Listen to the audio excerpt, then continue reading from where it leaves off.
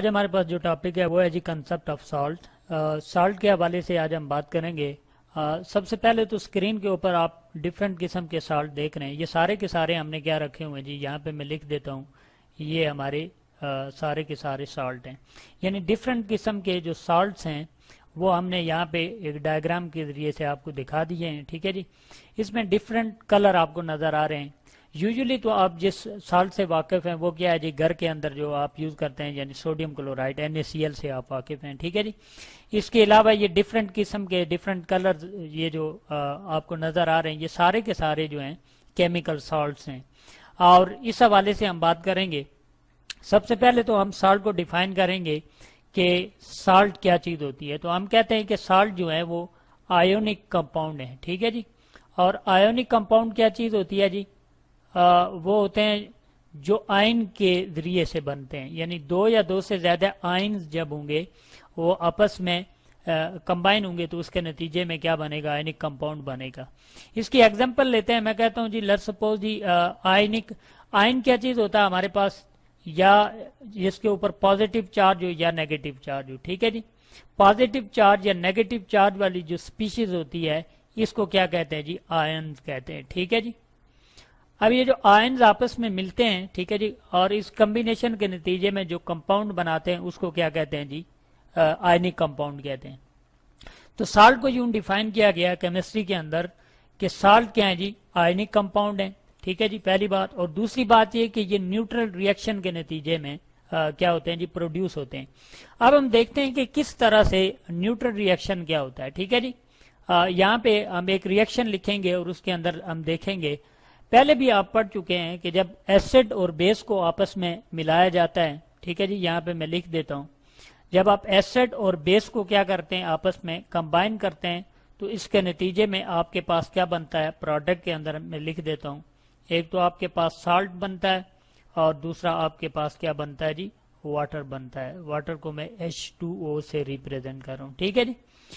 अब ये एसिड और बेस का जो आपस में रिएक्शन होता है, इस रिएक्शन को क्या कहते हैं? न्यूट्रलाइजेशन प्रोसेस ऑफ़ न्यूट्रलाइजेशन कहते हैं। यानी एसिड और बेस एक दूसरे को न्यूट्रल करके कौन से रेट पे आते हैं? यानी सेवन पे आते हैं, यानी एक दूसरे को न्यूट्रल कर देते हैं। यहाँ पे हम देखते हैं जी, कोई एसिड हम सेलेक्ट करेंगे, उसके बाद उसका रिएक्शन कराएँगे बेस के साथ और देखेंगे क्या हमारे पास साल्ट बन रहा है कि नहीं बन रहा ठीक है जी? सबसे पहले तो हम एसिड लेते हैं। मैं कहता हूँ जी, हमारे पास एसिड है जी HCl और HCl कौन सा एसिड है? जी हाइड्रोक्लोरिक एसिड है।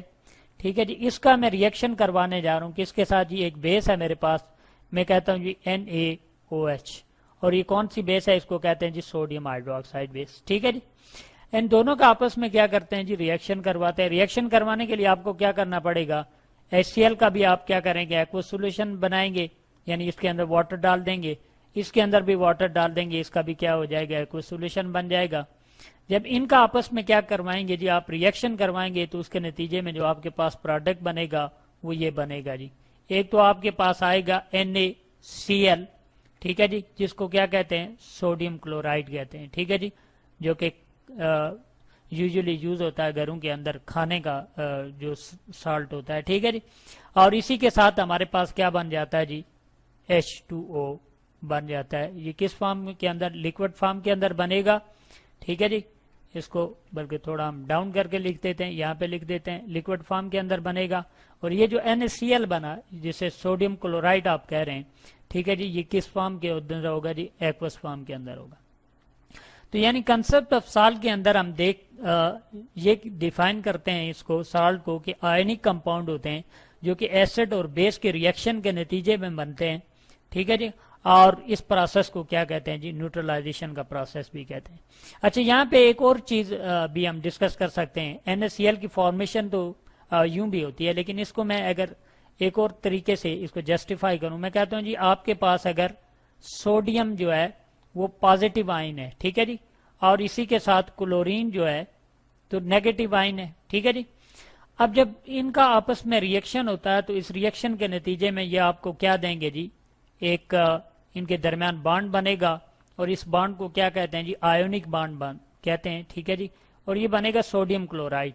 अब सोडियम क्लोराइड हमारे पास क्या है जी? साल्ट है, ठीक है जी? इसको हम यहाँ पे डिफरेंट कलर के साथ शो कर देते हैं। ये हमारे पास सोडियम क्लोराइड क्या है? सॉल्ट है। अब यानी इसके अंदर भी अगर हम देखें तो लिविस के कंसेप्ट को अगर आप याद करें तो लिविस कंसेप्ट में हमने कहा था कि जो पॉजिटिव हमारे पास स्पीशीज होंगी, वो क्या होंगे जी? एसिड होंगे। इसका मतलब हुआ कि इस रिएक्शन के अंदर एन ए पॉजिटिव जो है वो हमारे पास क्या जी? एसिड है। इसी तरह अगर लिविस के कंसेप्ट को आप याद करें तो हमने कहा था जो नेगेटिव स्पीशीज हमारे पास होंगी, वो क्या होंगी? एज ए बेस एक्ट करेंगी। तो यहाँ पे सी एल नेगेटिव हमारे पास क्या एक्ट कर रहा है? एज ए बेस एक्ट कर रहा है। तो एन ए पॉजिटिव और N A C L negative two के अपोजिट चार्जेज हैं इनके ऊपर। तो ये एक दूसरे को क्या करते हैं? आपस में अट्रैक्ट करते हैं। इसके नतीजे में एक बॉन्ड बनता है। ठीक है जी? यानी ये आइन्स हैं और आयन के ज़रिए से एक आयनिक कंपाउंड बनता है। ठीक है जी? एन क्या है? सोडियम साल्ट है। और ये यहाँ पे मैं लिख देता हूँ, ये क्या हमारे पास बन गया? आयोनिक कंपाउंड ठीक है जी? कंपाउंड को हम थोड़ा डाउन करके लिखेंगे। ठीक है जी? और यहाँ से ये बात आपको क्लियर हो जाती है दो जो बेसिक क्वेश्चन हमने उठाए थे और जो दो इनिशियल हमने बातें की थी, हमने कहा था कि साल्ट क्या होते हैं जी? आयोनिक कंपाउंड होते हैं। अब हमने देखा कि दो आयन आपस में कंबाइन होके क्या बना रहे हैं जी? साल्ट बना रहे हैं। एक तो ये मेथड हमने देखा।